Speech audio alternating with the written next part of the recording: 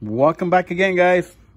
What didn't we just talk about an hour ago? Anyways guys uh and girls and kids who was watching just wanted to mention something else.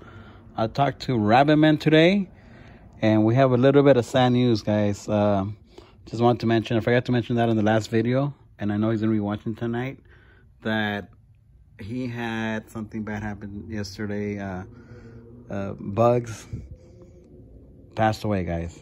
So let's just say a little prayer for Rabbit Man. I know how it is when you have a pet, uh, close pet to yourself. You know, you when you have it in your home, you know, it follows you. It, it goes with you 24 hours everywhere.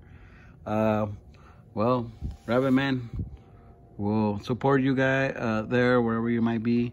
And I know you said that it's hard to lose uh, bugs, you know, but you, you you already got another new rabbit just to you know fill in that void of, of, of bugs and the new rabbit is called Silver.